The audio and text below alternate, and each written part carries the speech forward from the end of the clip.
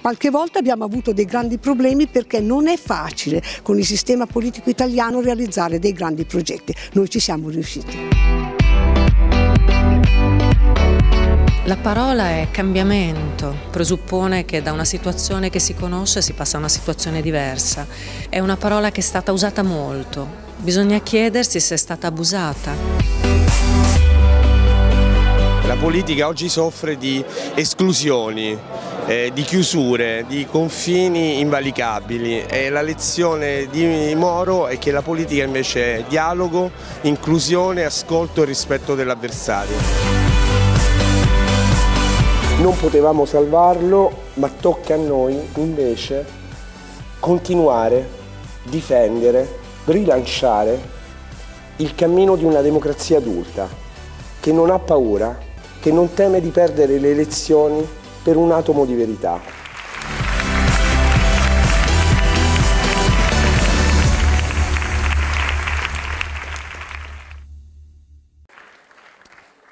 Allora, siamo adesso in uno dei momenti più importanti della nostra eh, Summer School vi chiedo di accogliere con un grandissimo applauso Marc Lazar.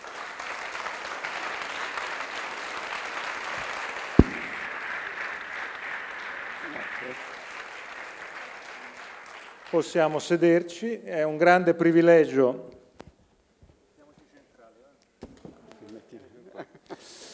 È un grandissimo privilegio avere Marc Lazar qui, eh, lo conoscete tutti, quindi io non devo fare grandi eh, presentazioni. Marc Lazar è uno dei più grandi storici, politologhi, conoscitori dell'Italia, conoscitori del rapporto tra l'Italia e la Francia, eh, Marc Lazar insegna in, nella migliore università del mondo, eh, che è Sciences Po. Eh... Oh.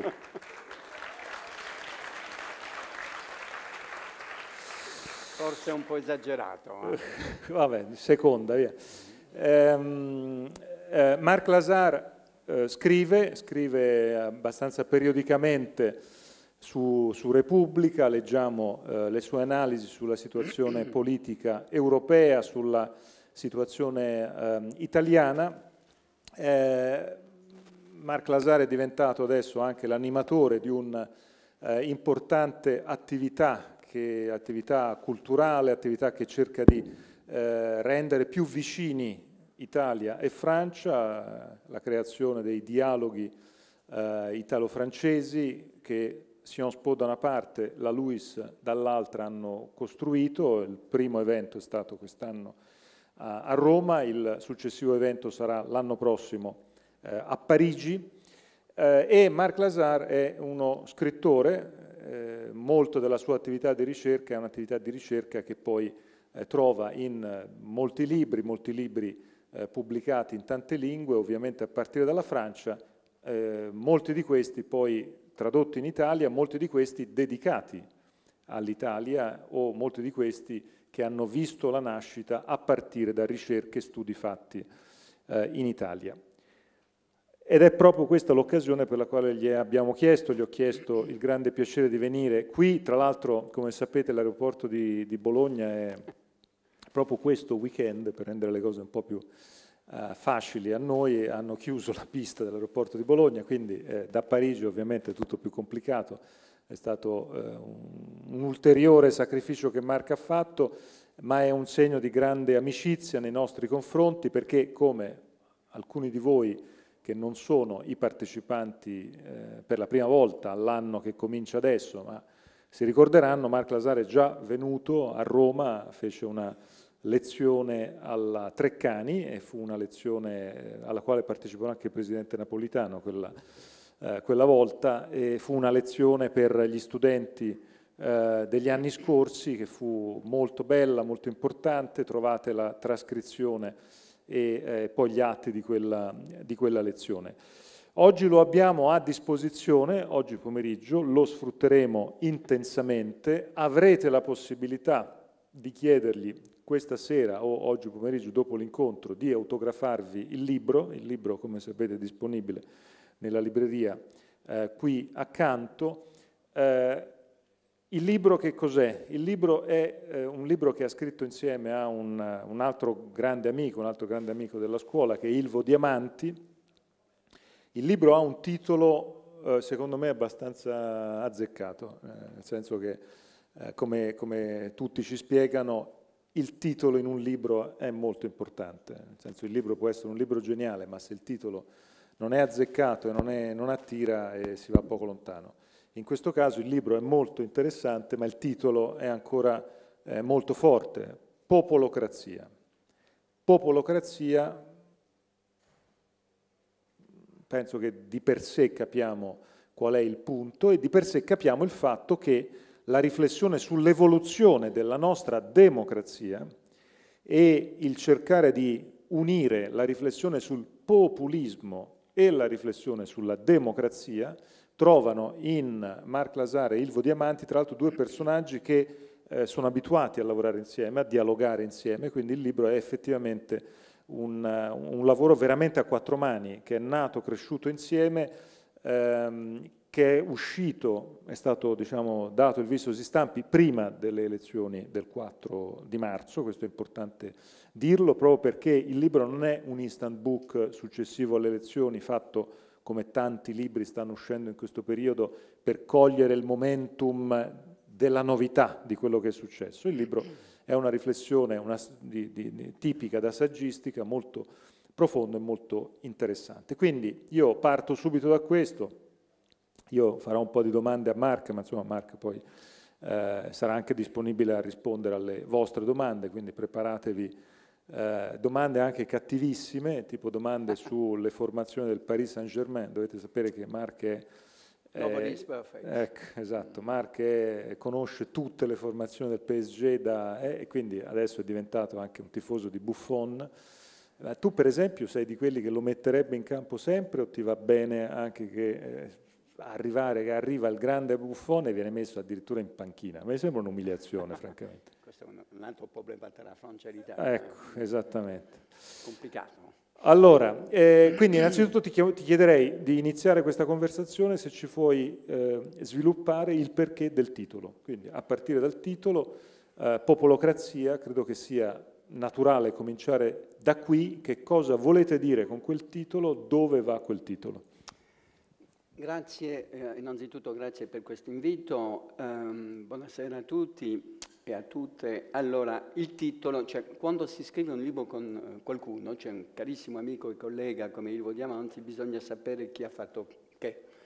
Il titolo eh, è L'invenzione di Ilvo Diamanti. Se leggete, eh, lui sta scrivendo ogni lunedì su Repubblica, io una volta al mese, e lui inventa parole. Allora, è lui che ha trovato questa parola popolocrazia e dopo eh, c'era già un'idea dietro questa parola e, e dopo eh, effettivamente abbiamo lavorato durante quasi più di un anno per scrivere questo libro. Allora, che significa popolocrazia? L'idea è la seguente, noi parliamo molto, giustamente, nel senso giustamente perché il problema è davanti a noi, specialmente l'avete voi in Italia, e quindi noi l'abbiamo in Europa, il problema è questo enorme successo, sempre più forte, eh, dei partiti cosiddetti populisti e dei leader populisti. E di solito c'è un'enorme, come noi diciamo nel nostro gergo accademico, c'è un'enorme letteratura sui populismi.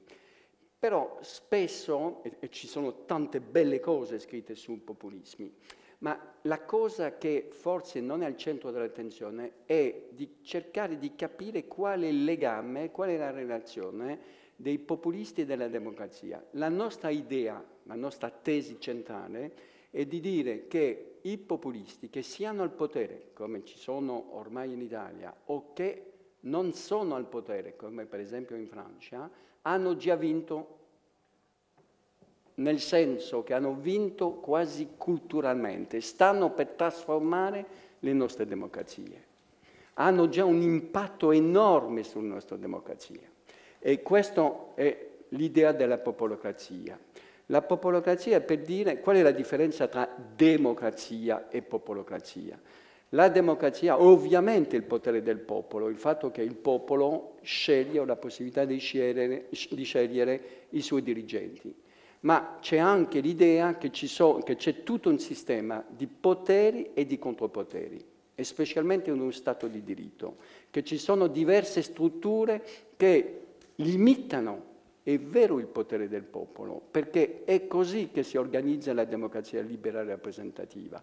Il popolo sceglie, ma dopo c'è lo Stato di diritto, dopo ci sono la separazione dei poteri c'è tutta una forma di contropoteri. Invece la popolocrazia è l'idea che il popolo sovrano non ha limiti che, e quindi questa, in questa prospettiva cambia tutto. Allora, faccio un piccolo ragionamento, scusa forse dell'intervento che sarà un po' più lungo perché veramente è importante da capire. Se facciamo un po', se gettiamo un sguardo storico, diciamo, sulle diverse forme della democrazia, e ovviamente sarà un po' schematico, alla fine dell'Ottocento, in diversi paesi del mondo, e soprattutto del mondo occidentale, c'è la democrazia parlamentare. Al XX secolo c'è la democrazia parlamentare e di partiti.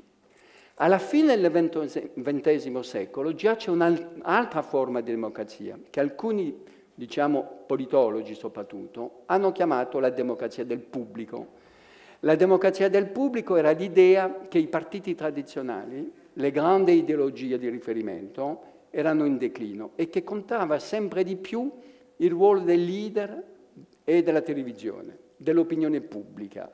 E questo era già una trasformazione importante. Secondo noi, Ilvo Diamanti, io, pensiamo che all'interno di questa democrazia del pubblico forse siamo entrati in una nuova forma di democrazia che appunto chiamiamo popolocrazia. Non è più solo il potere del leader e dell'opinione pubblica, è il fatto che questi leader, specialmente questi leader populisti, appunto, di nuovo, ripeto, pensano che il popolo è sovrano senza limiti.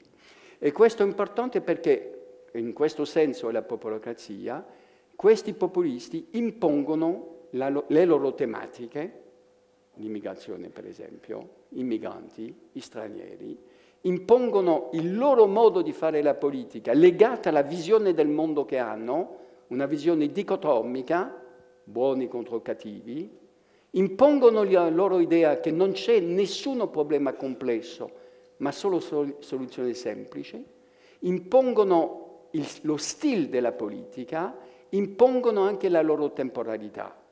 E quando dicono che impongono, e questo anche l'argomento della popolocrazia, è il fatto che anche gli altri leader, che non sono sul fondo populisti, hanno la tentazione di usare loro, gli stessi strumenti per vincere. E io prendo, potrei prendere un esempio in Italia, forse ritorneremo. No, no, prendilo, prendilo, è interessante. Ah sì?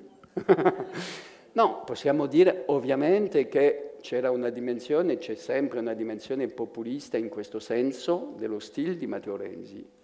Ma prendo un altro esempio in Francia, uno che appunto ha fatto di tutto e farà ancora di tutto per vincere i populisti, Emmanuel Macron in Francia, per vincere all'elezione presidenziale ha avuto bisogno di presentarsi come il candidato antisistema, malgrado il fatto che era ovviamente il candidato di un certo sistema perché a causa della sua carriera è stato un alto funzionario, ha lavorato per Hollande, è stato ministro dell'Hollande, ha lavorato nelle banche, però ha avuto bisogno di usare questo stile, di presentarsi come antisistema, ma anche nello stile comunicazione di presentarsi come un uomo che parlava direttamente al popolo. Questa è l'idea della popolocrazia e, e chiudo su questo, chiudo su due cose per farci capire bene, questa popolocrazia è reso, diciamo, fata, fatibile, fatibile, grazie a questa rivoluzione totale che i partiti tradizionali non hanno ancora capito, che è la rivoluzione digitale. La rivoluzione digitale fa che questa idea del popolo sovrano non è un'idea astratta, è qualcosa di concreto per tutti grazie ai social network. E quindi è la nuova forma, al XXI secolo, della democrazia diretta. È una democrazia, come dice Ilvo, immediata, immediata nel senso dell'emergenza permanente e immediata nel senso che non c'è più bisogno di mediazione, o più esattamente l'unica mediazione si fa attraverso la figura del leader. Allora, chiudo veramente questa lunga risposta alla tua domanda facendo capire che per noi la popolacrazia è una potenzialità. Non diciamo ha vinto, diciamo forse potrebbe vincere. E il laboratorio di questa popolocrazia siete voi.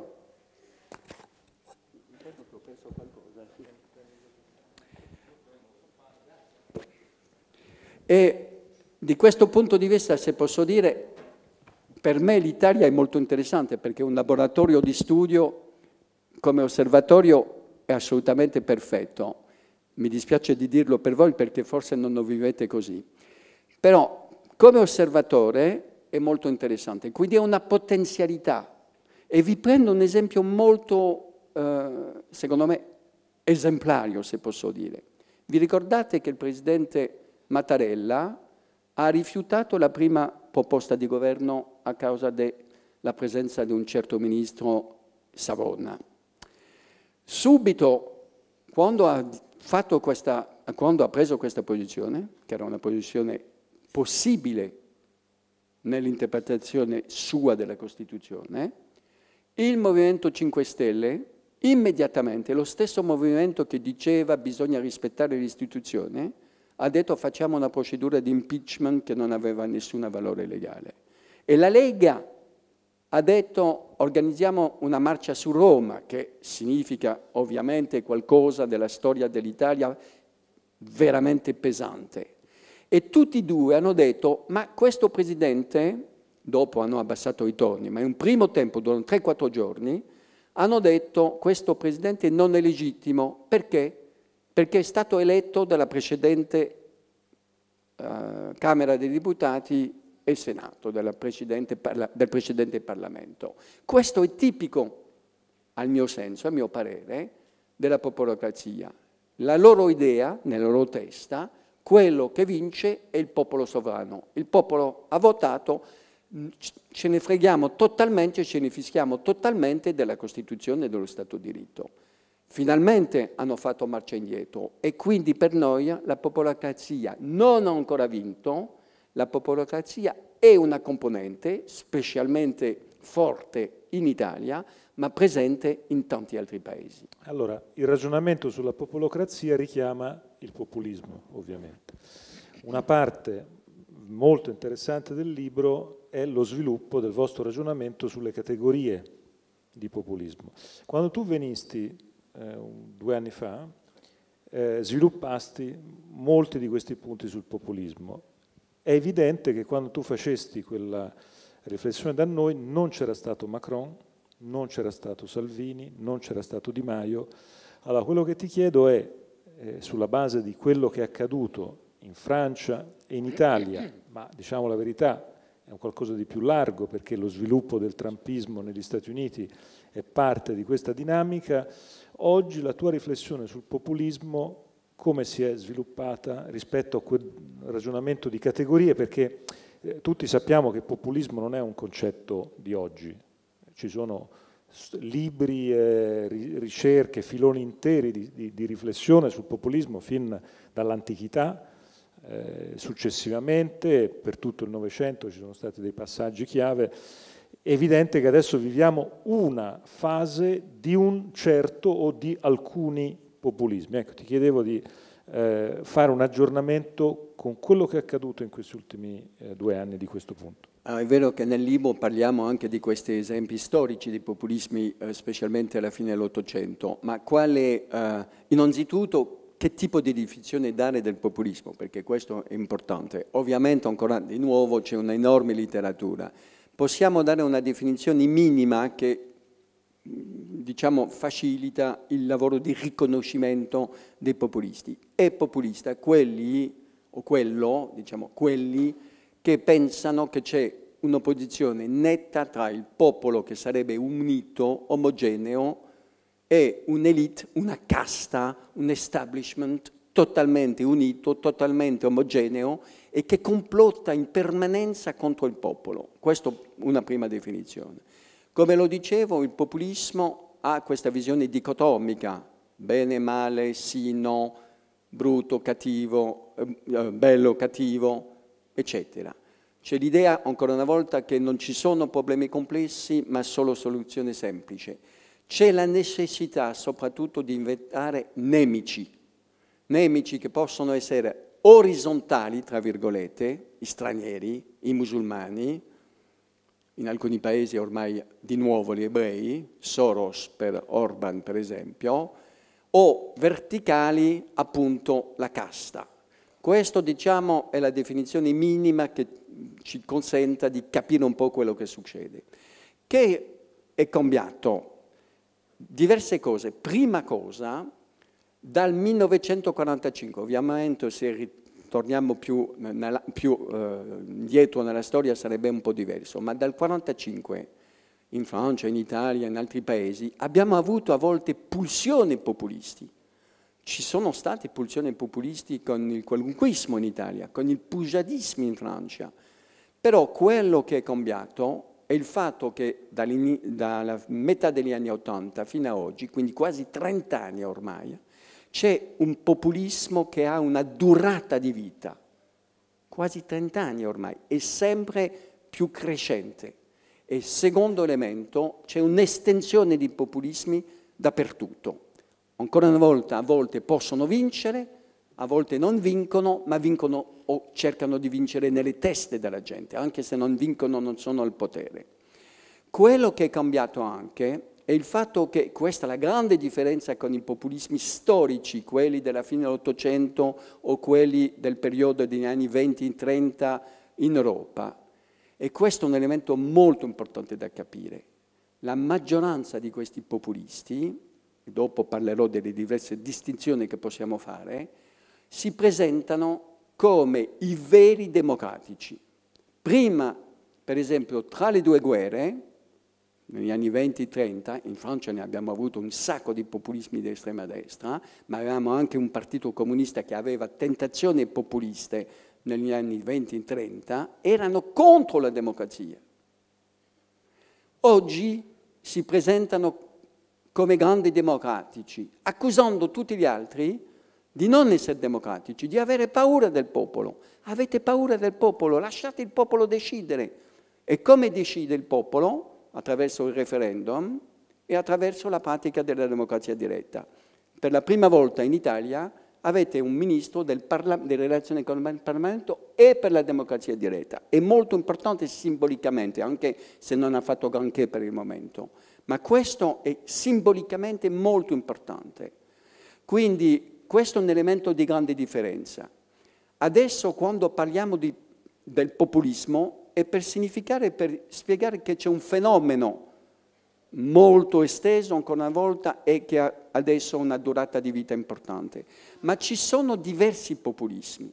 C'è un populismo regionalista, per esempio, è stato quello della, della Lega Nord all'inizio, c'è un populismo dell'imprenditore. Voi avete inventato, voi italiani, eh? non, sicuramente non voi in questa aula, in questo teatro avete inventato il populismo dell'imprenditore che si butta in politica spiegando che la politica è come il mondo degli affari, Silvio Berlusconi. Ma adesso Trump è una coppia di questo punto di vista, una fotocopia di Berlusconi a un livello ovviamente ancora più importante perché alla testa degli Stati Uniti. Abbiamo stessi esempi nella Repubblica Ceca, in Slovacchia, abbiamo avuto esempio dello stesso tipo in Austria. Quindi imprenditori che dicono no, la politica non ha nessuna autonomia. È una cosa molto semplice. Io sono riuscito a fare affari, posso fare la politica. Abbiamo populismi di sinistra di cui parliamo non abbastanza. Eh, per esempio Syriza in Grecia, Podemos in Spagna, la France Insoumise in Francia. Eh, potremmo tornare su questo elemento. Però un populismo minoritario in Europa, ma effettivamente che esiste in alcuni paesi. E poi ci sono populismi di destra, diciamo, quale, esempio, diciamo populismi di destra, nel quale possiamo mettere quello della Lega, e poi ci sono populismo o populisti né di destra né di sinistra come il Movimento 5 Stelle. Un elemento importante da capire, quando parlano del popolo, a volte non hanno la stessa concezione del popolo. La, la, distinzione che farò adesso è, come si dice in sociologia, idealtipica, quindi non è la realtà, ma ci permette, ci consenta di capire la realtà. Per alcuni, quando parlano del popolo, parlano della gente comune. In francese les gens, in spagnolo la gente, in inglese common people. Cioè, in questo senso, il popolo ha ragione perché è il buon senso del popolo. Questa è un certa, una certa concezione del popolo per alcuni populisti. Per altri populisti, quando parlano del popolo, è un'altra concezione del popolo. È il popolo che è supposto essere cittadino attivo, molto cosciente, che è sempre in politica. Io ho fatto nel libro, perché è la parte che ho scritto, la distinzione usando parole del latino. Da una parte la gente comune è la plebs e la gente, nell'altra concezione del popolo, cioè il popolo consciente, cittadino attivo, e il populus nel senso della Roma repubblicana, cioè quello che ha una certa coscienza politica. A volte c'è, un, eh, una superposizione di queste una sovrapposizione, overlapping eh, di queste concezioni. Per esempio, per uscire un po' dal caso italiano, in Francia la France Insoumise e Jean-Luc Mélenchon usa le due concezioni del popolo. Jean-Luc Mélenchon parla al popolo come cittadino attivo in un grande filone storico che esiste in Francia, che è il giacobinismo, cioè l'idea della rivoluzione francese. Il cittadino deve essere attivo ma nello stesso momento nel quale fa questo tipo di discorso, parla sempre de ah, les gens. Eh, les gens, faut faire quelque chose. Ah, la gente, dovete svegliarvi. Ma è il senso comune della gente al quale lui cerca, eh, di, cerca, cerca di mobilizzare. Quindi questa l'idea che abbiamo è, è, vero che quando aveva fatto questa presentazione già i populisti erano presenti, già, già c'era il Movimento 5 Stelle, già non c'era ancora, credo che erano 2000, no forse già la Lega stava per cambiare, non era più la Lega Nord, ma già la Lega. Ma quello che è importante da capire è questa estensione e soprattutto questa trasformazione del rapporto alla democrazia. Loro ormai si presentano come democratici. Aggiungo solo una cosa per chiudere il ragionamento. Attento quando pensiamo questa novità dei populismi, perché da una parte come, no, non da una parte, diciamo che c'è tutta una discussione attualmente. Molti studiosi, ma anche osservatori, giornalisti, dicono attento c'è il ritorno degli anni 20 in 30, c'è il ritorno del fascismo, parliamo chiaramente. Io non lo penso, non lo penso, anche se ci sono alcuni, alcune, diciamo, elementi di vera preoccupazione sulla democrazia, come ho detto, e questo potremo tornare su questo argomento. Però è vero che ci sono elementi, diciamo, legati al passato del populismo e soprattutto questa idea che appunto il popolo omogeneo ha, tutto, ha tutti i diritti. Ma c'è una grande novità e appunto questa novità sul rapporto alla democrazia. E questo è importante da capire. Alcuni movimenti populisti, che ovviamente sono di destra estrema o di estrema destra, fanno molto attenzione a quello che dicono. E prendo un esempio per essere molto chiaro. La Marine Le Pen viene da una famiglia di estrema destra, è veramente di estrema destra. Però, per esempio, lei non è mai andata a manifestare durante le enormi manifestazioni in Francia contro la legge per il matrimonio per tutti. Mai. La sua nipote sì la sua nipote, tra parentesi, molto più vicina a Salvini, o più esattamente Salvini molto più vicino alla nipote che alla Marine Le Pen. Chiudo questa parentesi, ma potremmo tornare. Perché non è andata alle manifestazioni? Lei. Perché lei aveva studiato, per una volta, studia poco, ma questa volta aveva studiato la componente del suo elettorato. Le Front National, oggi si chiama le Rassemblement National, è il primo partito tra i giovani, il primo partito tra i giovani, 18-25 anni, da anni, anche nel 2017. Macron è giovane, ma non ha avuto il voto dei giovani. Il primo partito è il partito dei giovani. E lei ha studiato e ha cercato di capire, ma questi giovani sono per il matrimonio per tutti o no? E tutti questi giovani che votano per la Le Pen se li fischiano totalmente, che sia omosessuali che si decidono di uh, avere un matrimonio, se li fischiano totalmente. Quindi lei non è andata. Ma non solo, lei si presenta come una donna moderna, divorziata, che educa i suoi figli da sola, adesso ha un compagno, tutti lo sanno, e lei spiega, io sono una donna moderna, non voglio tornare al Medioevo che vogliono impone, imporersi, imporre, mi sbaglio sempre, Enrico ogni volta mi dice sei un cattivo studente eh, perché lui è mio professore di italiano, e quindi i musulmani vogliono imporre la visione tradizionale delle donne, io rifiuto. Quindi è una cosa incredibile, perché negli anni 70 l'estrema destra in Francia come dappertutto era totalmente opposta alle conquiste femminili. Ormai è la stessa cosa nei Paesi Bassi, in Olanda, la stessa cosa nei paesi nordici, l'estrema destra populisti difende le conquiste femminili degli anni 70. Anzi, il leader del partito eh, populista eh, olandese era Pim Fortuyn, il creatore di questo partito, che era un omosessuale mh, dichiarato, diciamo. Quindi attento quando cerchiamo di capire il presente, ovviamente è lo storico che parla, che parla a prendere in considerazione la storia, ma non prendere le occhiali del passato per capire il presente. Tu nella tua prima risposta hai fatto un riferimento alla rivoluzione digitale.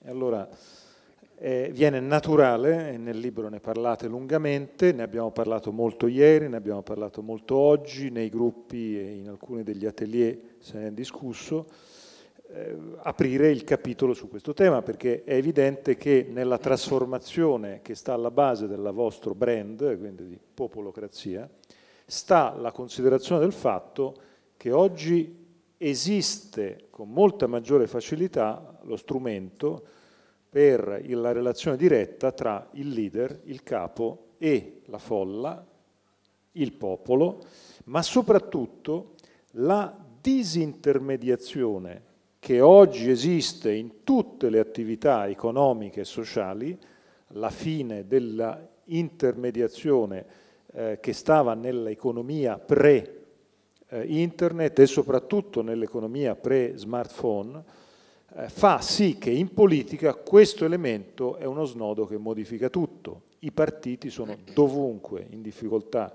in crisi, in particolare nei posti dove i partiti erano molto pesanti.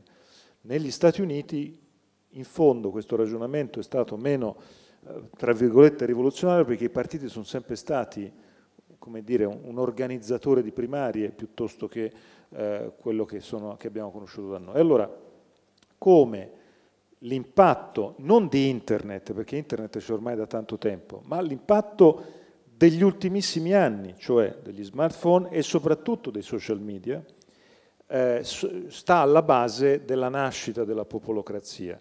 E se è così, cosa secondo te possiamo aspettarci in termini di eh, sviluppo futuro? Cioè, se le cose stanno così, sarà sempre di più che alla fine il leader, attorno alla sua leadership, costruisce un movimento politico e quindi i movimenti politici cambieranno a seconda dei leader e non ci sono e non ci saranno più sviluppi di tradizioni politiche come ci sono state eh, per tutti, tutto il secolo scorso che prescindono dal leader, hanno un gruppo dirigente e, e come tutto questo eh, si, si, porrà rispetto alle decisioni anche che nei nostri paesi andranno prese, perché qui per esempio la differenza tra Francia e Italia è una differenza sulla quale magari se vuoi eh, sviluppare un po' il tuo ragionamento può essere interessante.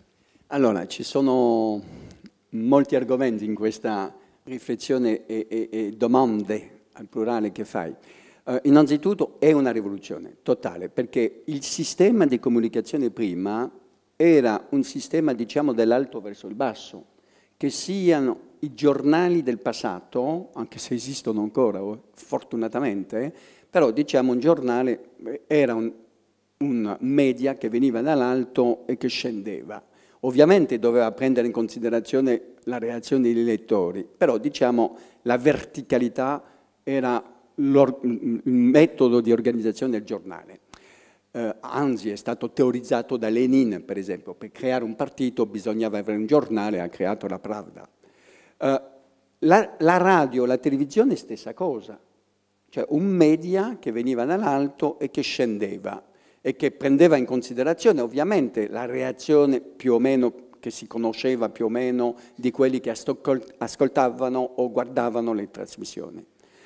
Con internet e i social network l'orizzontalità è qualcosa di totalmente nuovo e questo è veramente un enorme cambiamento, l'abbiamo detto. Allora, quali sono le forme di aggregazione in questo contesto?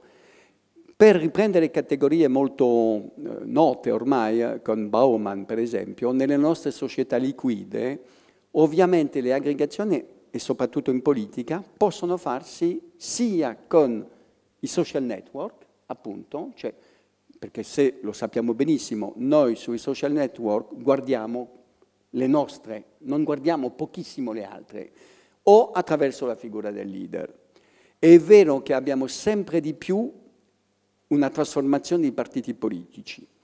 Abbiamo una personalizzazione di partiti tradizionali, questo l'abbiamo visto, visto, per esempio in Francia, ehm, con il Partito Socialista, quando, già nel passato, quando Mitterrand ha preso la direzione del Partito Socialista nel 1971, ha cercato di personalizzare il partito sulla sua figura ma il partito golista, che ha una grande tradizione già di, di personalizzazione, ha fatto la stessa cosa con Nicolas Sarkozy, che ha ancora accentuato la personalizzazione.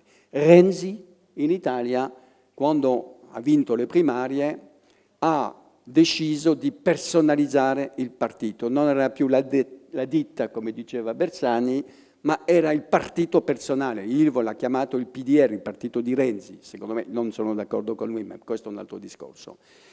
Quindi la personalizzazione dei partiti è una cosa. La cosa nuova, come l'hai detto, è il fatto che ormai alcuni leader hanno deciso di creare il loro partito.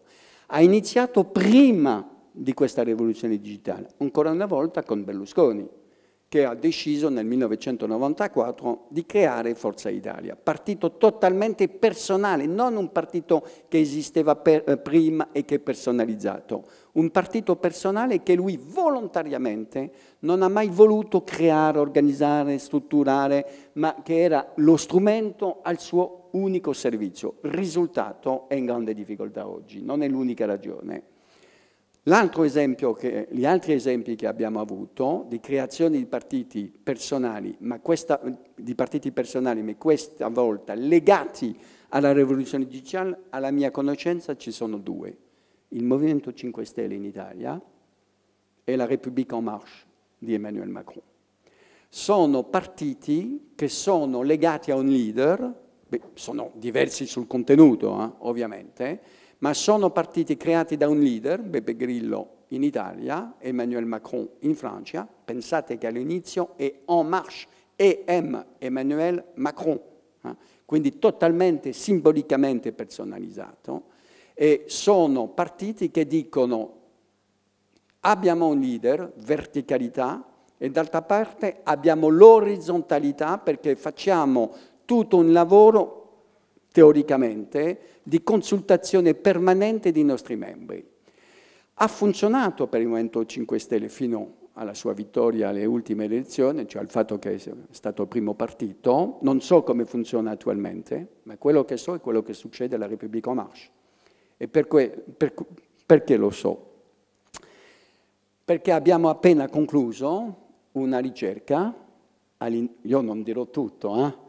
Perché ufficialmente sarà pubblicato l'8 ottobre, però lo dico in due parole. Uh, abbiamo fatto un'enorme indagine grazie alla collaborazione della Repubblica en Marche che ci ha dato accesso ai suoi 390.000 aderanti ufficiali, ma attento, per essere aderente, membro della Marche, della Repubblica en Marche, basta prendere il computer e fare un clic, siete subito membri potete farlo uscendo di questa sala, non c'è problema, anche dentro. Eh, anche dentro. quindi lo fate sul vostro iPhone e siete subito membro della Repubblica en Marche o membra della Repubblica en Marche e saranno molto contenti di avere di nuovi aderanti italiani, eccetera. abbiamo, abbiamo, fatto un enorme eh, sondaggio, quest questionario, questionario?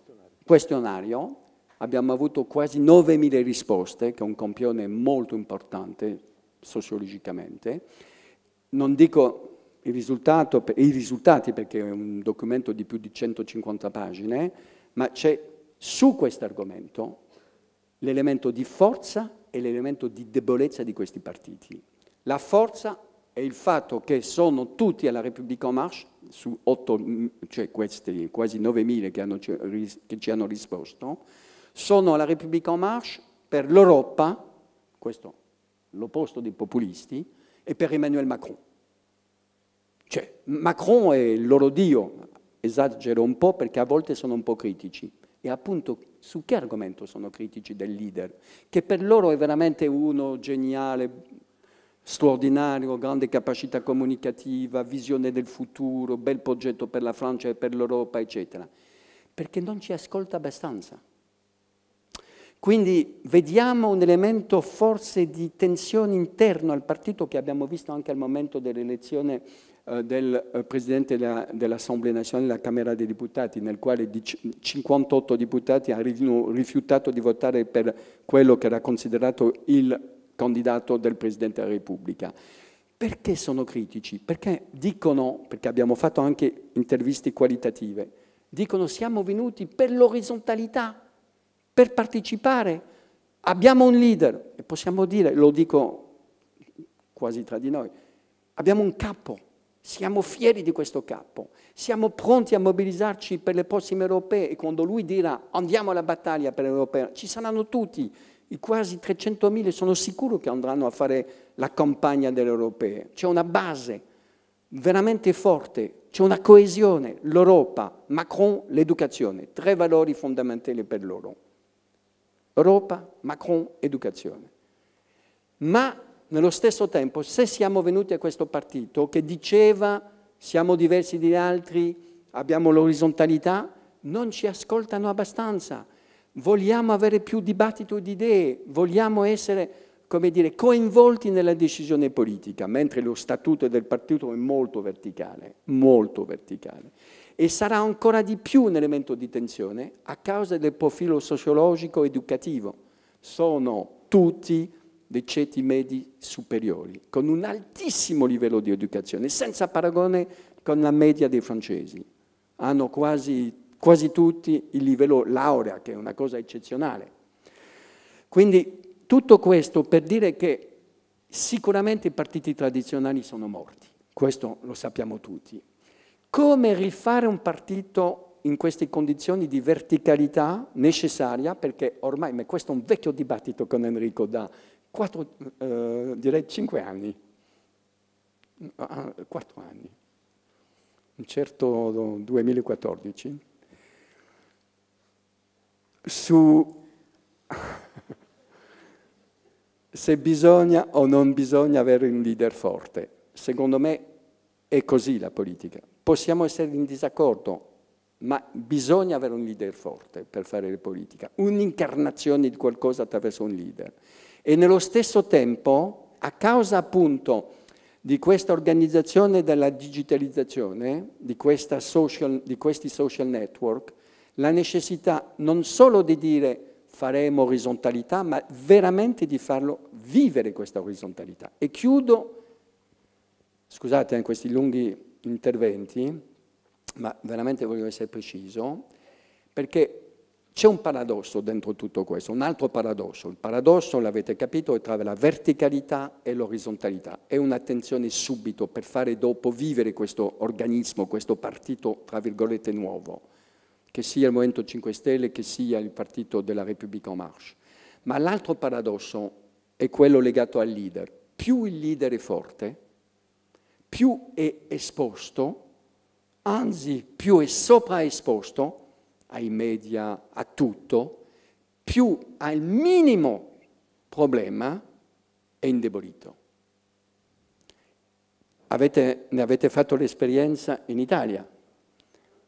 Matteo Renzi popolarissimo, vince le, prima, vince le primarie, vince le elezioni europee, si butta in diverse eh, re, eh, riforme, fa la proposta sul referendum costituzionale e lo perde, indebolito, anzi, in grande difficoltà.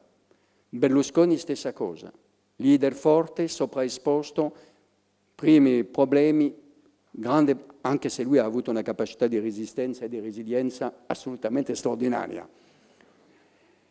Ma Emmanuel Macron, Emmanuel Macron, che adesso ha un livello più basso di popolarità, e io non ci, lo pensavo, ho fatto un, un, intervento alla Johns Hopkins di Bologna in maggio e lo so che è su, su YouTube, eccetera, e dicevo, perché avevo i dati all'epoca in maggio, allo stesso momento, cioè un anno dopo, quando facevo il paragone, la comparazione tra un anno dopo per Sarkozy e un anno dopo Hollande, avevano tutti perduto, ma Macron era ancora molto superiore, molto più alto che Sarkozy e Hollande un anno dopo le loro elezioni. Questa volta, in settembre, è sotto il livello di popolarità di Hollande.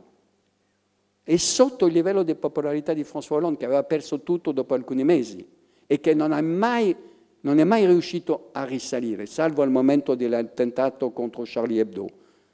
Unico momento nel quale ha ripreso un po' di popolarità perché c'era un dramma nazionale che l'ha gestito, se posso dire, incarnato molto bene anche tutti quelli opposti a Hollande l'hanno riconosciuto.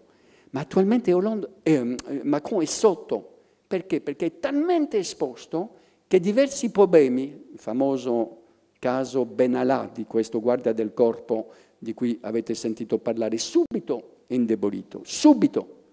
E come per il momento non ha voluto appunto creare una squadra, avere un partito veramente che lo protegge anche, è in grande difficoltà. Quindi questo è il paradosso della popolocrazia o della democrazia del pubblico e della popolocrazia. Bisogna avere un leader forte, ma questo leader ha un grande rischio perché, come è sopra esposto, più è forte, più rischia di essere debole. Il paradosso è veramente importante. Hai, una, hai fatto un punto che è molto gustoso e, e lo, voglio, lo devo sviluppare assolutamente. A un certo punto hai fatto un parallelo tra en Marche e il 5 Stelle. Secondo te è un parallelo solamente da alcune caratteristiche che hanno in comune oppure non è impossibile che l'anno prossimo, nella semplificazione che le elezioni europee nel continente porteranno, alla fine dentro il Parlamento europeo si creeranno 5-6 gruppi, quindi è possibile, secondo te, è immaginabile che questi due partiti si trovino insieme? Quello che sembra oggi un paradosso assoluto, perché oggi il governo italiano e il governo francese sono in una situazione di grande dialettica, però la possibilità di vedere una qualche forma di confluenza tra questi due movimenti politici non è impossibile, volevo sapere che cosa ne pensavi. Credo che adesso è difficile, quasi impossibile all'inizio quando eh, i fondatori di eh, En Marche, che dopo si è chiamato la Repubblica En Marche, avevano studiato il Movimento 5 Stelle, posso dirlo, erano interessati a questa esperienza. Ovviamente non, non avevano le stesse posizioni, non avevano lo stesso contenuto, ovviamente, ma sulle forme di strutturazione del Movimento 5 Stelle l'hanno studiato. Appunto questo misto di orizzontalità e di verticalità e l'importanza di tutte eh, le consultazioni attraverso la rete, la piattaforma Rousseau, eccetera. Questo è stato veramente un elemento di riflessione per la strutturazione della Repubblica en Marche. Dopodiché si sa, io non svelo un segreto, che quando c'è stata la vittoria, eh, cioè quando c'è stato questo governo, o prima anche del governo, della formazione del governo, la Repubblica en Marche ha potuto pensare che forse il Movimento 5 Stelle era diverso e che forse si poteva trovare forme di accordo a livello europeo. Adesso, con quello che è successo dal momento della formazione del governo, le prese di posizione di Di Maio, è impossibile, assolutamente impossibile, almeno dal punto di vista della Repubblica en Marche.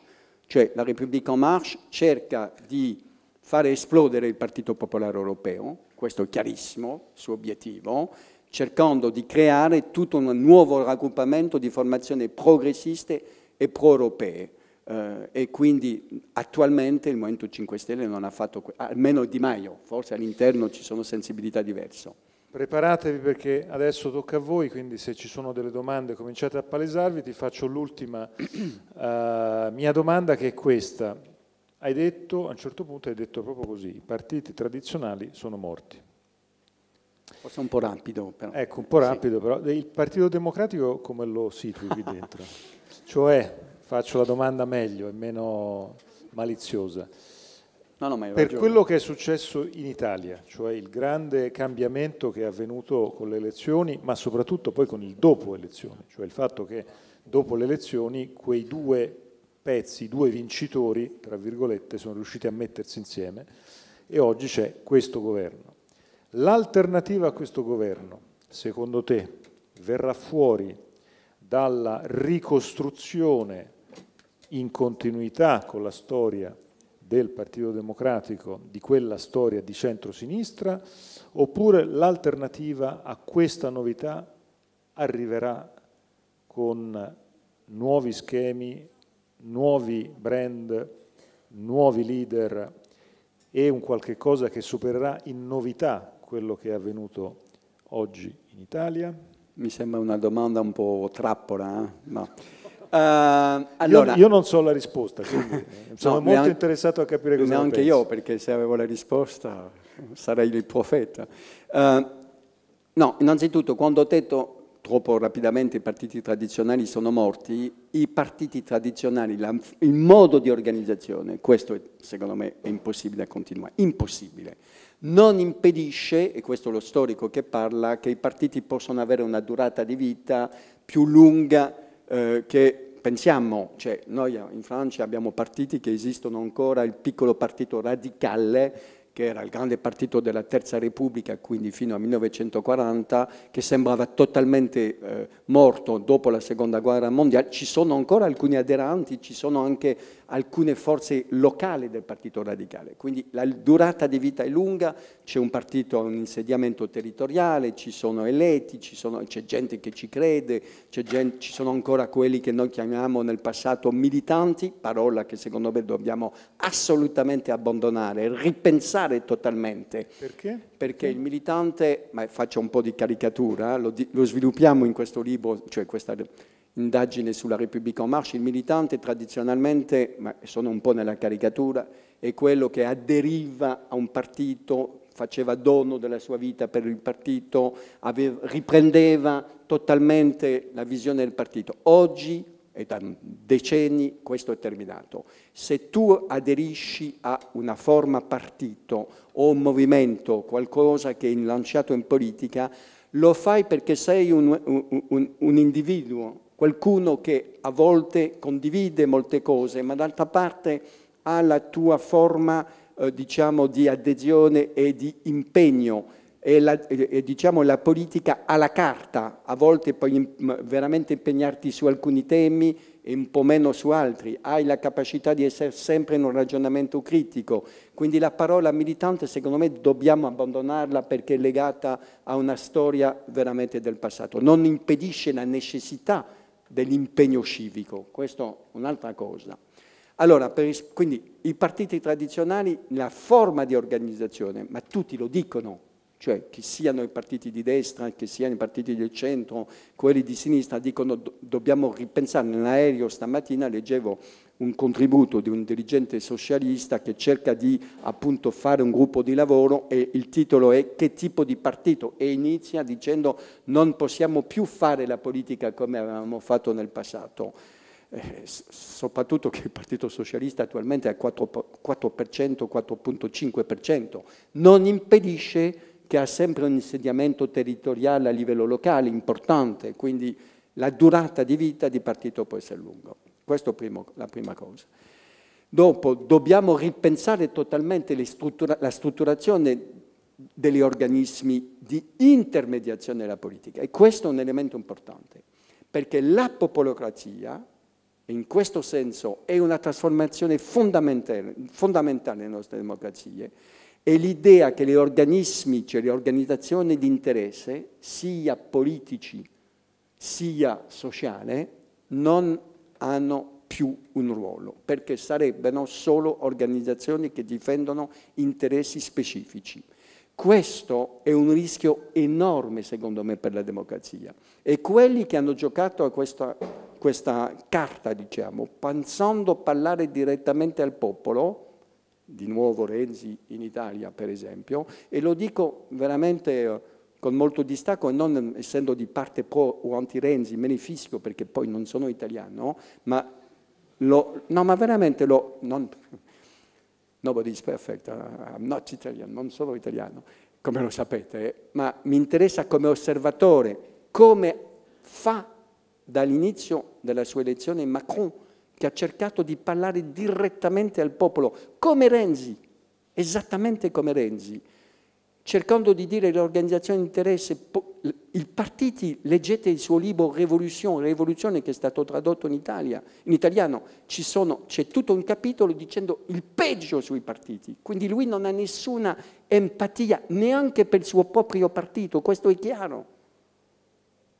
assolutamente chiaro, e sulle organizzazioni sindacali le ha ignorate, vedendo il risultato della sua caduta di popolarità, da alcune settimane e mesi, ha deciso di riprendere, di cercare di riprendere un lavoro di negoziazione. Tutto questo per dire che, che c'è una necessità per la democrazia di avere organizzazioni politiche, ma tutto il problema è di sapere come organizzarle. Per rispondere alla tua domanda, io non ho risposta, ma adesso credo che sono sicuro di due cose, vedendo la situazione specifica dell'Italia. La prima è che la grande cosa è chi è per l'Europa e chi è contro l'Europa. E questo clivage, come diciamo, cleavage, frattura, clivaggio, adesso clivaggio più o meno entrato, no, lo so che tu non sei d'accordo perché sei un purista della lingua italiana, allora diciamo, usiamo la parola inglese cleavage, ormai è decisivo nel vostro paese, come in tanti altri paesi. E se è decisivo, ovviamente i confini tra i partiti cambiano. Cioè, ovviamente, perché questa divisione, questa opposizione, questa frattura, questo clivaggio, questo cleavage passa sia all'interno della sinistra sia all'interno della destra. Quindi questo sarà un elemento di ricomposizione del sistema politico sicuramente. E perché ci sono le elezioni europee? Perché è un anno cruciale l'anno 2019. E poi l'altro argomento ormai è che tipo di democrazia vogliono gli italiani. E di questo punto di vista è sicuramente in pericolo. La popolocrazia può trasformarsi in un'altra forma di democrazia, è la democrazia illiberale.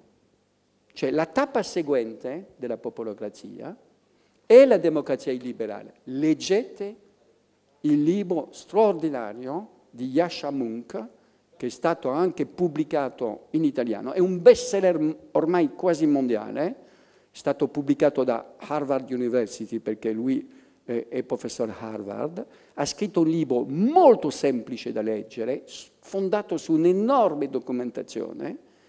E si chiama, credo che lo stesso titolo in italiano, Il popolo contro la de democrazia, in inglese People versus Democracy, in francese Le peuple contre la démocratie, eh, eh, mi ricordo il, il sottotitolo, come, eh, se mi ricordo bene, come la democrazia è minacciata e come cercare di evitare la morte della democrazia. E che difende come posizione? È un libro veramente facile da leggere, la ragione del, del suo successo internazionale.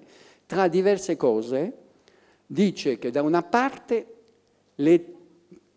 c'è una situazione nella quale ci, ci sono democratici, noi, senza più liberalismo. No, scusate, è il contrario. C'è liberali che non sono più democratici, che non ascoltano più il popolo, che non lo prendono più in considerazione. Questo da una parte. E d'altra parte ci sono i populisti che si dicono democratici e che non sono liberali. Il risultato può essere quello che succede in Ungheria, che il, il Parlamento europeo ha condannato finalmente con l'articolo 7. Ungheria, Polonia, cioè la democrazia illiberale. Orban vince l'elezione e dice posso fare quello che voglio, popolocrazia, popolo ha ragione e quindi riduco tutte le libertà. E secondo me questi due cleavage, l'Europa pro o anti-europea, che tipo di democrazia? Per il rispetto della democrazia liberale rappresentativa, aggiornata, reinventata, ripensata, riformulata, con secondo me molto più spazio alla democrazia partecipativa o la democrazia liberale che vogliono imporre, mi, questa volta non mi sono sbagliato, il Movimento 5 Stelle e la Lega. Lì in mezzo, ah c'è già il microfono, scusa, sì. vai. Buonasera. Eh, volevo due domande abbastanza brevi, una più generica e una più specifica. Eh, quella generica, se ci può fare una, diciamo, una, previsione su quello che potrebbe essere il voto eh, italiano e francese alle europee, anche considerando che bisognerà diciamo, decidere il successore di, di Juncker. E quella più specifica invece sul Front National. Pu pu puoi riprendere la prima domanda? Perché sì, non... eh, appunto, il, Mm, il voto italiano quello francese alle elezioni europee, anche considerando che si dovrà appunto scegliere il successore di Juncker, quindi si dovrà comunque trovare una quadra diciamo, a livello europeo.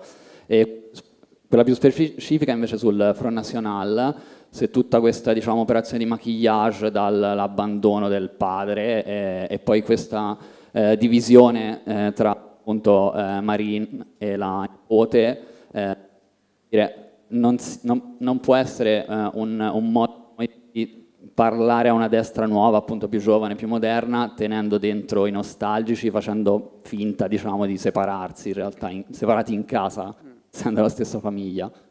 Io direi se fai risposte brevi rispondi direttamente e poi facciamo, prendiamo altre domande. Allora, eh, sulle elezioni europee ovviamente dobbiamo aspettare il risultato dell'elezione, eh? quindi eh, per darvi solo un'indicazione c'è stato un sondaggio pubblicato ieri che dà mm, la Repubblica en Marche a 21.5 e eh, il Rassemblement, Rassemblement National a 20% dietro, gli altri molto più indietro. Sicuramente la designazione del Presidente della Commissione europea sarà decisivo, decisivo sul futuro dell'Europa. Rassemblement National, Marine Le Pen e la sua nipote, per il momento la nipote ufficialmente eh, non fa più politica, fa come Enrico Letta. È ispirata... No, lei si è ispirata. A appunto, sì, quindi si è ispirata del modello Letta, ha fatto la scuola politica. Allora, che faranno Enrico Letta e eh, Marion Maréchal Le Pen? Torneranno in politica? Vedremo. Potremmo invitare Marion Maréchal Le Pen qui l'anno prossimo. Che Però non Vediamo credo per il momento a una rottura interna al Rassemblement National. Ci, veramente sono due linee diverse. Uh, Marine Le Pen vuole essere da sola e cercare di riorganizzare la politica accanto al suo partito e fare mettere in crisi la destra, mentre Marion Maréchal Le Pen non esclude un'alleanza con il resto della destra, ma su valori più tradizionali. Dov'è Buon... il microfono? Sono qua. Buonasera, io ho due domande molto rapide. Eh, la prima, eh, lei ha detto prima che questi partiti, tra virgolette, populisti, sono qua, ah, okay. hanno bisogno, questi partiti populisti, lei ha detto prima, hanno bisogno di un nemico, di un capo espiatorio. Allora la prima domanda è quanto tempo dura il giochino del capro espiatorio e la seconda, eh, secondo lei, una previsione.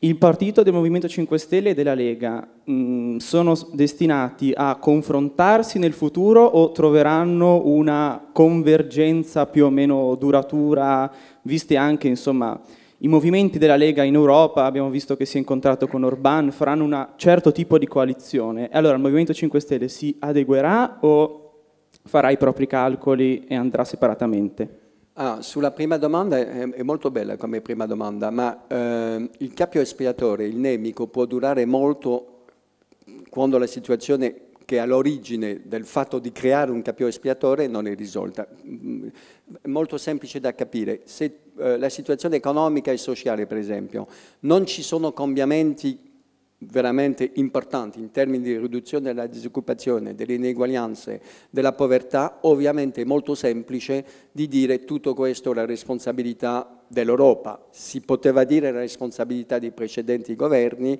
ormai si può dire è l'Europa. L'Europa non, ci lascia fare quello che potremmo fare molto semplicemente per risolvere questo problema. Il secondo grande scapio espiatore, grande nemico, è l'immigrazione, e gli immigrati e i migranti. Allora, di questo punto di vista, la grande forza, almeno in Italia, ma in, soprattutto in Italia, ma in altri paesi, la grande forza di questi populisti è di avere miscolato tre cose che sono diverse. Gli immigranti regolari, adesso in Italia ne avete 5 milioni, quattro volte di più del 2001, i migranti clandestini, che sono sul territorio, stimati a 500.000, e i migranti che sono arrivati, che da quasi un anno arrivano in proporzione molto minore, ma che i populisti sono riusciti a fare credere alla popolazione che è il problema numero uno.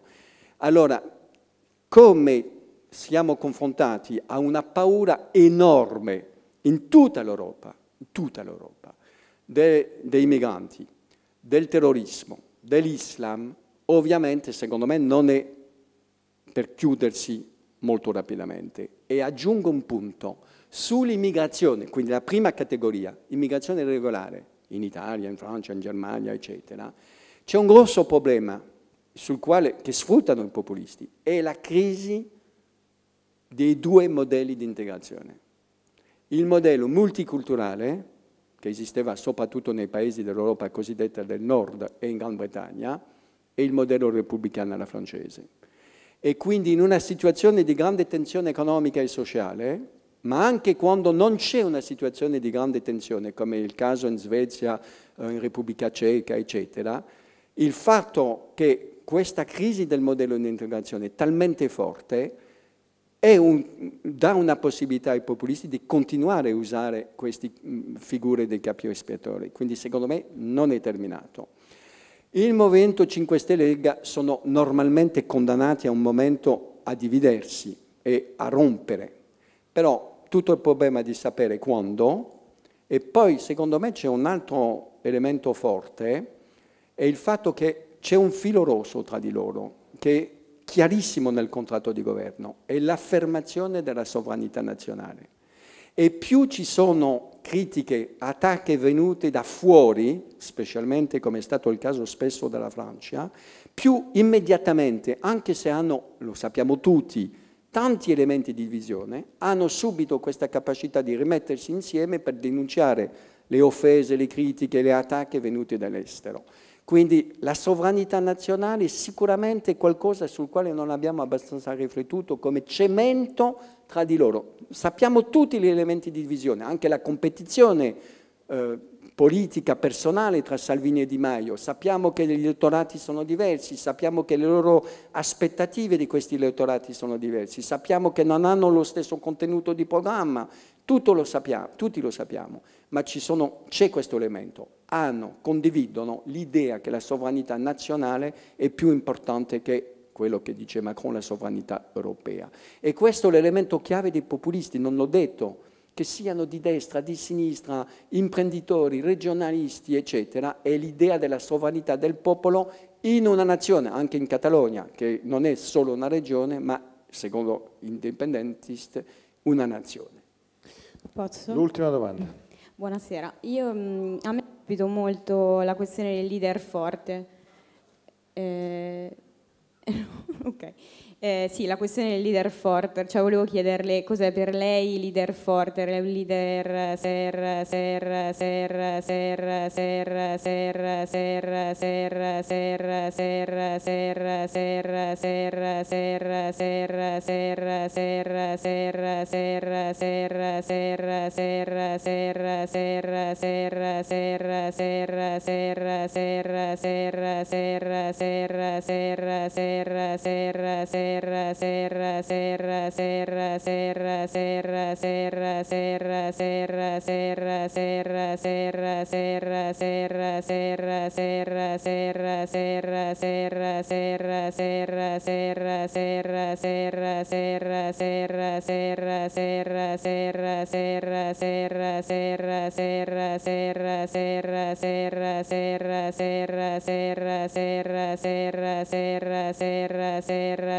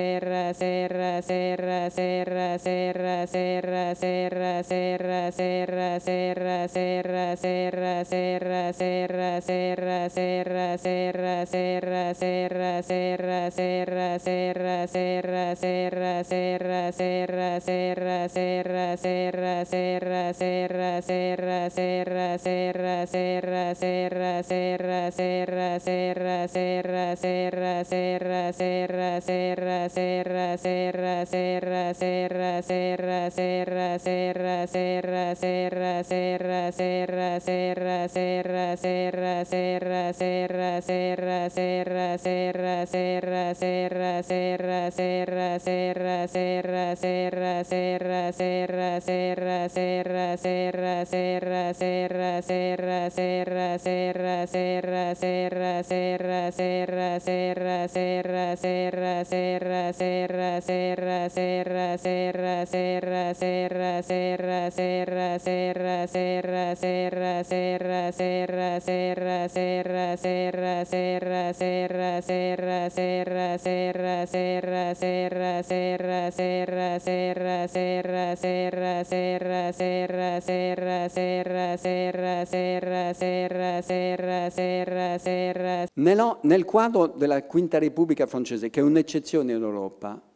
la Quinta Repubblica ha bisogno di un leader forte.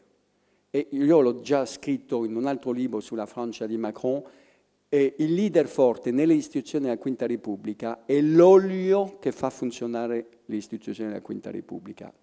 E ne abbiamo avuto alcuni leader forti, abbiamo avuto leader deboli e subito le istituzioni in questo caso non funzionano bene. Il problema è di sapere se sono veramente istituzioni democratiche, c'è tutto un dibattito in Francia, cioè una parte dei francesi dicono dobbiamo cambiare la nostra Costituzione perché dà troppo potere al Presidente della Repubblica. Il Presidente della Repubblica in Francia ha un potere incredibile, è l'unico nel mondo capace di dire posso cambiare Parigi, e l'hanno fatto tutti, non ancora Macron. Uh, eh, François Mitterrand ha fatto l'Opera Bastiglia, ha fatto un nuovo Arco di Trionfo, uh, ha, ha, fatto, ha, ha, fatto, fare la piramide del Louvre, quindi è rimasto, è entrato nella storia con grande S. Tutti i presidenti della Quinta Repubblica sono decisi, un po' come un re, di cambiare la fisionomia della capitale di Parigi, a volte per il bene, a volte per il peggio. Nel caso dell'Italia e delle democrazie parlamentari è molto interessante perché questo è esattamente quello che è la grande scommessa, la grande sfida per l'Italia attualmente, secondo me. Chi vincerà? La popolocrazia, cioè Salvini, Di Maio, capace di cambiare nella pratica il funzionamento dell'istituzione? O ci sarà, come è stato spesso nel passato, la capacità di ammortizzazione dell'istituzione. Mio grande amico, per il quale ho la più grande stima, il professore Sabino Cassese, dall'inizio crede nella capacità di assor- assorbimento, assorbimento dell'istituzione. L'ha detto nella presentazione del nostro libro con Ilvo Diamanti a Roma, alla terza, nella sede della casa editrice La Terza. Ha sviluppato questo ragionamento dicendo sono convinto, era in maggio, non ne ho parlato con lui in settembre. eh, io ho sentito quando ho detto l'ultima domanda un o oh no eh, voce femminile. Se questo o oh no voce femminile eh, vuole fare un'ultima domanda...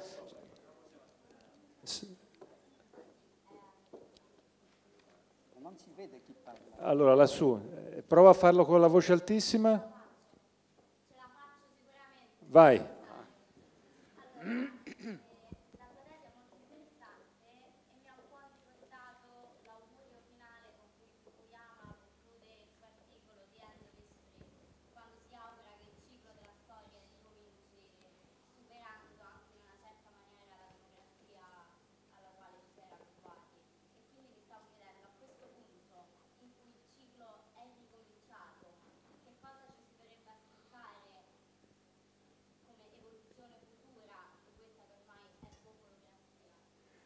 No, ma il futuro della democrazia è nelle nostre mani.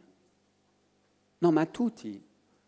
Eh, attualmente, per esempio, c'è un dibattito tra i studiosi. Uh, Munch nel suo libro, più o meno un libro militante alla fine, lui dice che ci sono tre uh, terapie per questa malattia, cioè uh, rilanciare l'economia, regolare la rete sociale, rifare una religione civica che dimostra che è molto americano lui eh, e lui una, lo dice alla fine due pagine finali dicendo non voglio rimanere più o meno nel ghetto del mio campus di Harvard. Sapete che in America le università sono completamente chiuse su di loro e totalmente separate dal resto della popolazione. Altri dicono, sono per il momento piuttosto su questa posizione dicendo nostro lavoro a noi come studiosi di cercare di capire, non stigmatizzare, non condannare, ma di capire e dare strumenti a quelli che si impegnano per fare qualcosa.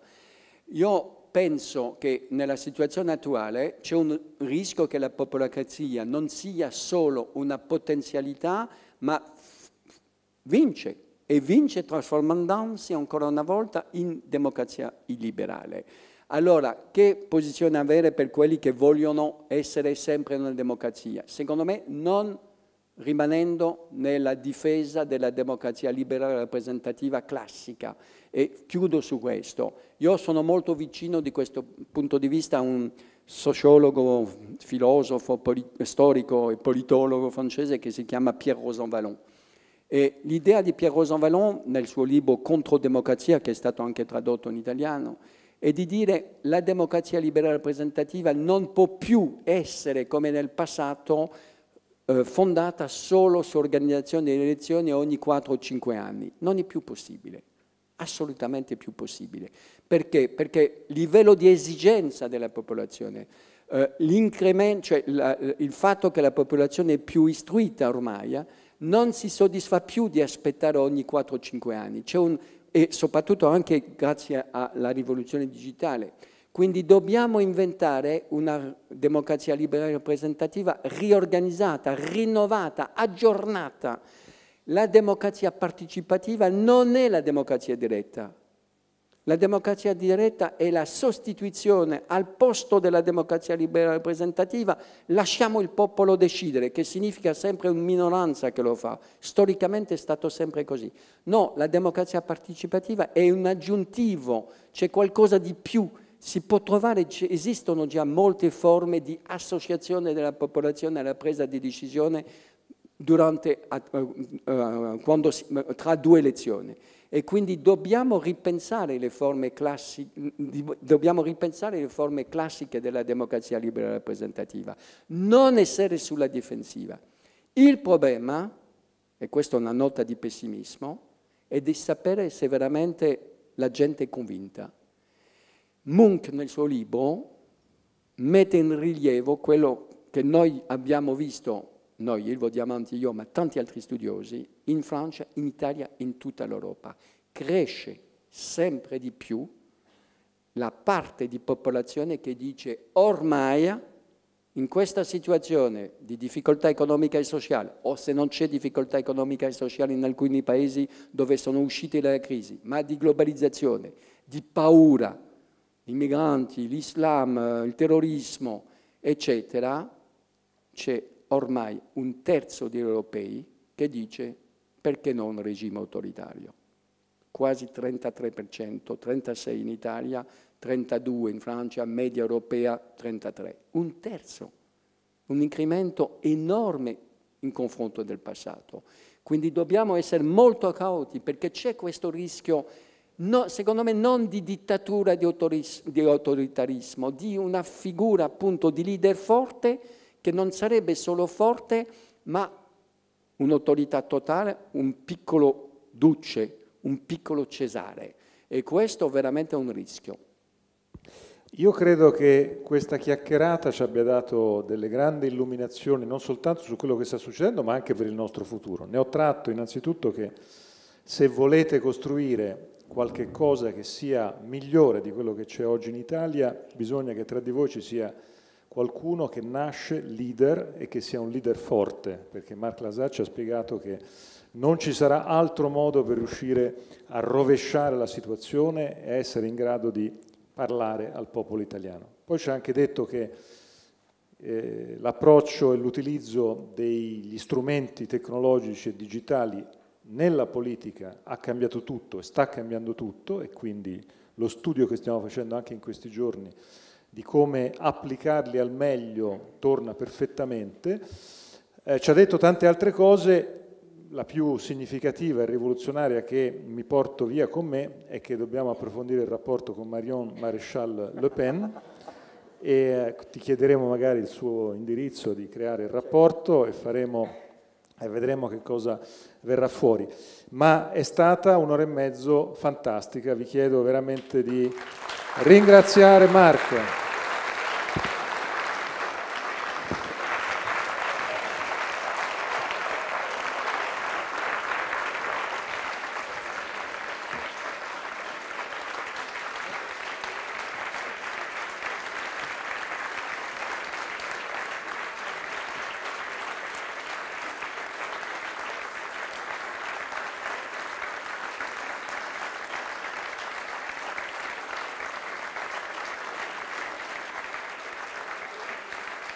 Nell'applauso c'è anche un po' di calore in più per dimostrare ai poveri francesi che gli vogliamo comunque bene, nonostante tutto e nonostante il momento che stiamo vivendo.